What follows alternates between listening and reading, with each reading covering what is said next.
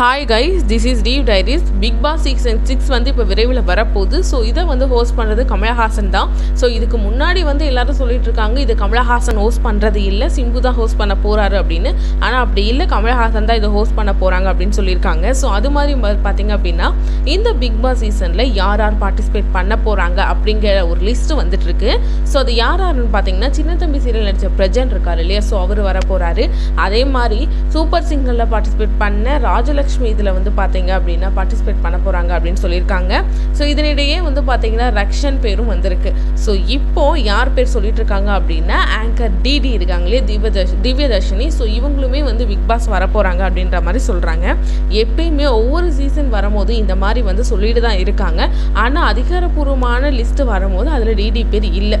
So இன்றைக்கும் அதாவது பார்த்தீங்கன்னா இந்த முறையும் வந்து இந்த டிடியோட பேரை வந்து எல்லோரும் சொல்லியிருக்காங்க. அவங்களும் இதில் பிக் பாஸ் சிக்ஸில் வந்து வர போகிறாங்க பார்ட்டிசிபேட் பண்ண போகிறாங்க அப்படின்ற மாதிரி சொல்லியிருக்காங்க. அது உண்மையா பொய்யா அப்படிங்கிறது அதிகாரப்பூர்வ தகவல் வந்தால் தான் நமக்கு தெரியும்.